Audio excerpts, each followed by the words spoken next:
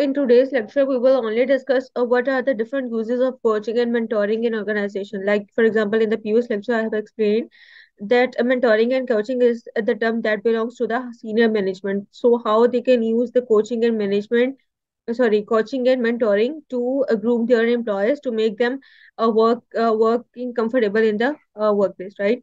So, there are different uses of coaching and mentoring in the organization. The first one is talent pools. So, what is meant by the talent pools? Coaching aims to produce optimal performance and improvement at work it focuses on specific skills and goals and may also have an impact on an individual's personal attributes such as social interaction or confidence. The process typically lasts for a definite period of time or forms on the basis of ongoing management style. So it mainly uh, uh, focuses that uh, by providing the real-time coaching and mentoring, mentoring to your employees makes their capability to groom with the passage of time. Uh, like they have their talents, polished and they have more uh, smooth uh, social interaction and more confidence in working place. Although there is a variety of definitions there are some generally agreed principles of coaching in organization. It's essentially a non-directive form of development focusing on improving performance and developing an individual right? So here the, uh, it is non-directive because the coaching and uh, uh, in coaching and mentoring you give a direction to your employees that how you should perform. And this is the you give the direction on uh, for only the work that is that needs to be completed. You don't give that direction that your skills can be polished in, uh, in this way. So in, indirectly the coaching and mentoring also plays an important role in polishing the uh, personal skill in either these are the internal or external skills. They are uh, these skills of the employees are being improved by providing the correct mentoring and coaching along with providing them enough information to solve a specific, specific task. Now personal factors may be included but the emphasis is on performance and work right? So personal factors here the personal factors may include your um, personality your uh, perceptions about something or your beliefs or the values. But it emphasizes on the performance that, that, that how you utilize your uh, beliefs values perceptions and thinking uh, in your work performance right you either you are working either you are utilizing in a positive way or either uh, it leads to uh, to uh, performing in a negative way the, the next one is coaching activities have both organizational and individual goals for individual to assess their strength and developmental areas, right? So coaching uh, works in the two-way direction, right? Uh, for the employees, it may help them to groom their uh, personally. Uh, they uh, this help them to to create more opportunities for themselves to um, solve more tasks, and uh, for the organization, it plays an important role to create a path of success for that specific organization. Like for the uh, if the employees are motivated enough to work in the organization your organization will definitely lead to the uh, way of success. The next one is it's a skilled activity which should be delivered by those trained in coaching skills right? So uh, coaching is basically a very skillful activity because only the person who knows everything about doing a, uh, how to do a specific task is only responsible to give right information to their junior ones right? So coaching and mentoring should be given to that specific person who is aware of everything who is aware of the rules and the policies who is aware of how to manage all the problems uh, like like each each and everything the person which is well known for that should be given that specific task of coaching to, to their employees whereas there as far as mentoring is related the mentoring in the Workplace describes a relationship in which more experienced colleagues share their greater knowledge to support the development of an inexperienced individual. It calls on the skills of questioning, listening, clarifying, and reframing that are associated with coaching, right? So mentoring it means that coaching in the coaching you provide the correct principles, you uh, you make your employees learn the correct rules how to do a specific task. But in mentoring you make them work practically how to do a specific task and how you can help them help them in a practical way.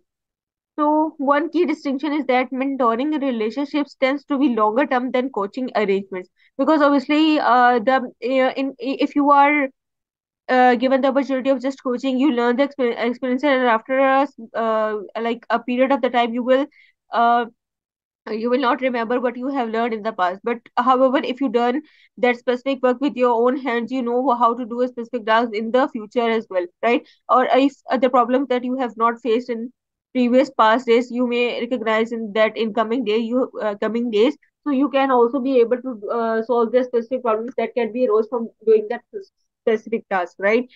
So it means that the coaching uh, and mentoring goes in hand in hand because uh, coaching is something you make your employees learn and mentoring something you make your uh, employees to work practically right? So the thing that is practical done is always lasts for a longer period of period of time and the person is confident enough if they face any type of problem he can he or she can so solve it the next one is uh, developing skill and confidence right? So uh, here the coaching and the uh, coaching and mentoring helps to make the talent pools uh, positive for their employees. The second one is developing their skills and confidence. Confidence is a trait that can help us face life experiences head on. Many of us know that what it feels like to carry out a task with assurance, while equally, it's a common experience to feel a lack of confidence, right? Confidence something that it, it is basically a trait. Not only the organization confidence is important, it also plays an important role in your personal life. So uh, the question arises here, it means that how you can develop the confidence or uh, some people say that they are very un- underconfident and they don't feel like to be confident in, in providing their services and working in a specific area or interacting with people right? So understanding the importance of being confident at work can help you feel more inclined to attain a confident mindset right? For example if you are going in a meeting you uh, go in a meeting with a mindset that you cannot perform well. So you uh, uh naturally feel the un- underconfident even prior uh, joining the meeting. But if you have uh, set your mind that you are you can achieve you can give a good presentation in front of employees you can give a good presentation no matter if your uh, boss is sitting ahead of you so if you make your mindset clear that you should be confident then there then the confidence naturally arises in you right so you feel that you uh, that you naturally feel that you are confident to, to to face any type of problem so here are some of the benefits of displaying confidence as an employee. The first one is enhancing your job performance. Being confident in your abilities can make you be more productive. This can make you more desirable candidate for hiring managers or current employer, right? So uh, it makes uh, it creates a job opportunities for you. For example, if you are confident enough and you have taken part in every aspect of your organization working, so you uh, so it may it may increases the chances that you can be selected as a manager in coming days uh, right because confidence is very uh, is considered as a soft skill but it's very important uh, for being a fully fledged person. The next one is improving your engagement at work. When you have self confidence you may be more apt to partake in work relation discuss related discussions. Your increased engagement can help foster or improve relationship in the workplace right? So it is the basic thing because uh, not only in the social workplace but also in the uh, so, uh, like personal social relationships as well because if you are confident to meet the new people or to uh, speak something good or bad in the front of the in the face of those people so you may have uh, chances that you can increase your social engagements and social interactions with the other people right? So uh, interacting with other people also build a good relationships in the workplace. So having a happier mindset what the confidence also contrib- contributes in uh, maintaining your mindset happier. When you are confident at work it can help you feel proud of your accomplishments knowing that your abilities enable you to achieve them right uh, the same thing I have explained that if you are going to with a mind, mindset of being confident, you can achieve everything that you can face. This can translate into joyous state of mind, increasing the morale for you and everyone on your team. Right. So you have you you have your personal satisfaction that you your abilities match with the uh, job requirements your abilities match with the project requirements and you have done uh, beyond their expectation and it is very uh, uh, uh it and it has proved very good for your uh, for you and for your company right? So the mindset is re- so your mind will be relaxed that you have done you have given your 100% so you have uh being a confident contributes to your happiest state of mind reducing stress. When you are not focused on your inabilities you are more apt to have a creator uh, to have a carefree and positive attitude this can help reduce any work related stress since you have a positive mindset for your various responsibilities, right? So, being confident that you can achieve anything in the workplace, you can solve any problem, you can uh, manage your task on time, you can meet deadline. So, these all, uh, so having on confidence in all these aspects enables you to reduce your stress related to your work environment, right? because you have, if you, you are confident and you have set the timetable of all for all of your projects that have uh, be being pending. So it may reduces a half of your mindset uh, stress that you can achieve them on time and you are confident that you can do it faster as possible right? So it uh, being confident also contributes to reducing stress of your workplace. The next one is helping you solve problems.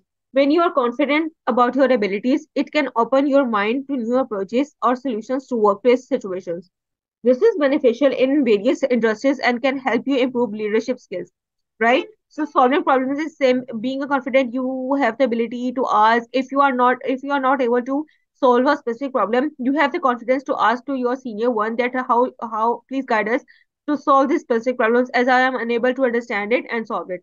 Right? So confidence plays a both role. Like if you are aware of how to solve a problem or if you are not aware and you have to ask for to solve that problem, in both ways you need to be confident right? The next one is improving your leadership skills. Exhibiting confidence and work can help you gain leadership skills such as your ability to make decisions. If your manager recognizes your initiative it may make them inclined to give you more responsibilities because they see you have been able to handle your everyday tasks right? So this is the natural thing because if you are confident and you need to make part in every decisions so your manager is recognizes you as the one who can solve every problem and and who's and you are you can be the one which can gain a high success rate in the future right? So manager always uh, needs those person uh, that have high confidence level and they can take part in the decisions and can express their ideas how they can achieve this uh, specific goals um, and all that right so there are two type of skills. The first one is internal organization skills. Internal organization skills are mental. It's related to you. They help you analyze complex issues so you can come up with solutions. They are the skills that help you stay calm even in the face of pressure. Examples of internal organization skills include creative thinking, strategic thinking, etc. Oftentimes, this is where your mental fitness come will come out of play your brain has a wide range of skill sets that it will use in different situations. It's important to keep your mental fitness skills sharp to be able to learn, lean on these skills when you need them, right? So, uh, uh, internal skills means that it's related to yourself. For example, if, if it's your decision making power if you are it is if it's your problem solving problem if it's your insight if it's your self esteem so these are the skills that are related to you and and is considered as internal organization skills. So what is uh, what it's it's mean by the external organization skills? These organization organization skills have more to do with your work with other people. They help to you to keep your workplace clean and free from clutter so that it is easier to complete your task. It's when you set timelines for goals, how you break goals down into a manageable task, how you communicate, and how you collaborate with others. Good, exter- good external organization skills will help you to play as a team member. Some examples of organizational skills include prioritization, documentation, workflow management, and teamwork, right? So these are the external skills that you exhibit in the workplace. Either it is related to making any reports of your working or handling day-to-day tasks or or meeting the deadlines. So uh, you are sharp enough to manage everything on time and give uh, the better positive uh, report to your boss right? So these are uh, like two main skills the internal organization skills and external organization skills which can be improved by having a confidence in your abilities and having a confidence in in what you have done in your workplace. The next one is managing poor performance. Starting a performance management starting a poor performance management process can be imi- uh, intimidating. It's never fun to criticize someone or worse, fire them if they can't make the improvements you need. We are okay. So here the step-by-step guide. For example, how you can manage your poor, poor performance. Here the poor performance means that the one employee who is not getting uh, on time in the office, they are not following the uh, the company's policies. They spend more time uh, like sitting uh, in the uh, organization and they won't take part in the discussion. They are not willing to do uh, the work beyond their abilities. They are um, managing their day to daily tasks hardly. They are not submitting their reports. They, like everything that shows the negative impact of yourself uh, comes in the term of poor performance right so how you can manage those poor, poor performance as an uh, manager or as a coach provider a coaching provider how should you uh, make your employee to be more engaged in the organization. So the first one is prepare for an emotional response right? Emotional response is that like if you are not working uh, the way we are expecting you to work uh, we, we the only option we have left is to fire you right? So prepare for an emotional response like uh, giving them um, like a warning if i say uh, to your employees if they are not following the rules of your companies or address the problem face to face right? Or if you can ask your employee that what is the basic problem that makes them to do so in this environment and which is the problem that is responsible for this non-serious behavior of you? And uh, involve human resources early on. Like human resources may include that the right coaching and mentoring or uh, the uh, relationship that you give to your employees uh, the leniency that you give your employees that they can rest for some for some time and all the human resources that is the basic need of your of a human being. Make a plan for success.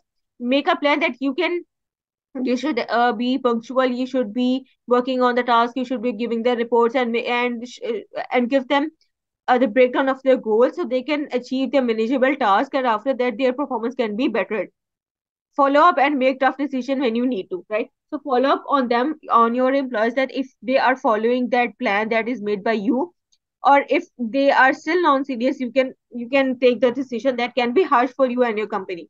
But it but it's very important at some point right? I think so.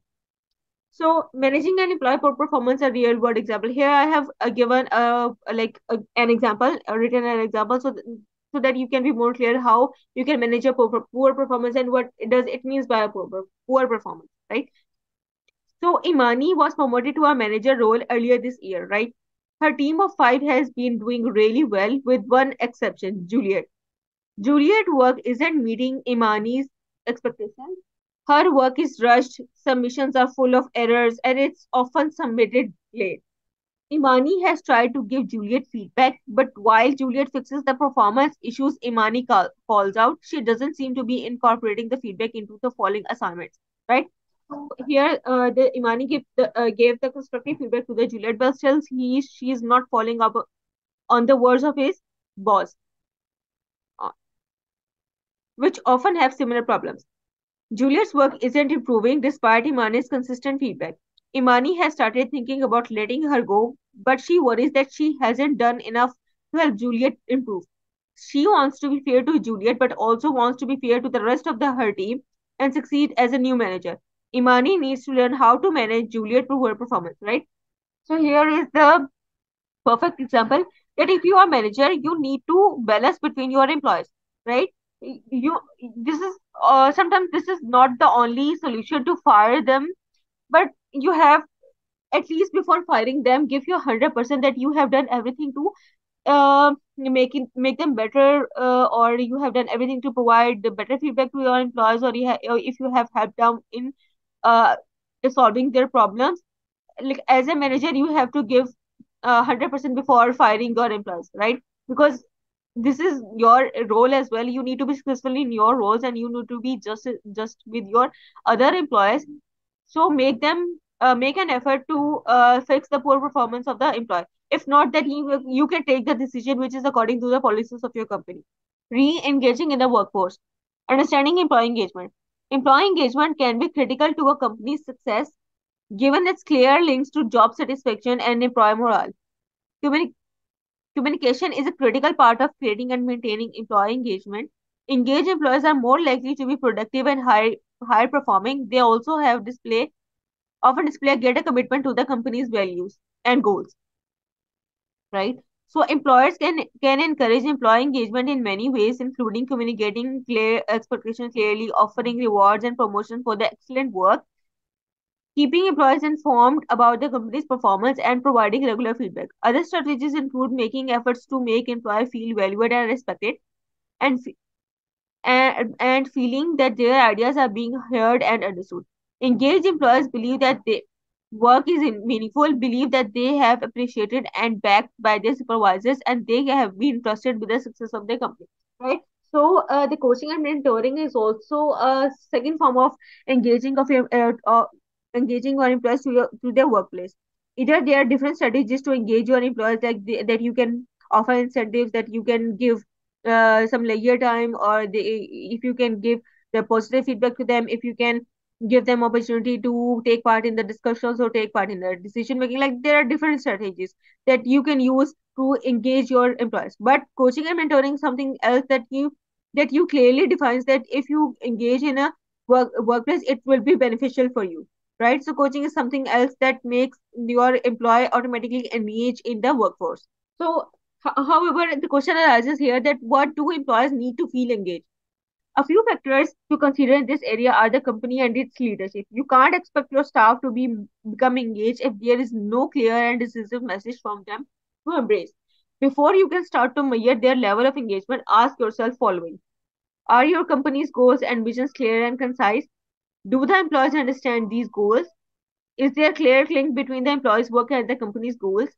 Can employees see how their work ultimately contributes to the success of the business? Is the leadership of the organization present and able to motivate the workforce? Are the managers equipped with the skills needed to lead a team success, right?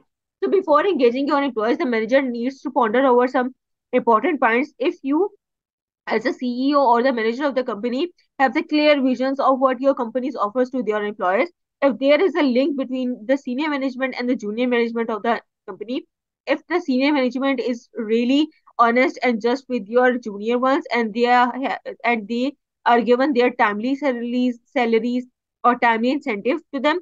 Or if your employees uh, feel comfortable by discussing the various problems with you so before going to engage your employees engage yourself as a person as in, engage yourself as something as someone who is responsible for making uh, their team work and providing and guiding them the right path right? So here it explains that uh, the manager and the CEO also should be engaged in the company's policies rather than before making their employees to expect everything from them, right? So when all these components are in place, you can begin to look closer at how well engaged your employees are. Taking a close look at the business and its leadership first can also help you further develop in employee engagement strategies and practices, right? So as if the 100% is the manager and the CEO is involved or engaged in the workplace, the uh, employees also follow their path and they also uh, feel responsible that they should take part in the uh, workforce activities and they should they, they give their 100% no matter if their skills are underrated or not. They can improve their skills in the uh, in the future if they have given the right coaching and mentoring. So basically the uh, coaching and mentoring have these essential like they, it plays an important role in in uh, furnishing your talent pools. It makes your uh, employee improve their skills and make their uh, confidence high. It makes their uh, performance poor performance to be uh, best uh, or if they are engaged in the workplace or not right? So if you have any questions for today's okay. So amira that's for that's all for today. Um take care and you may leave now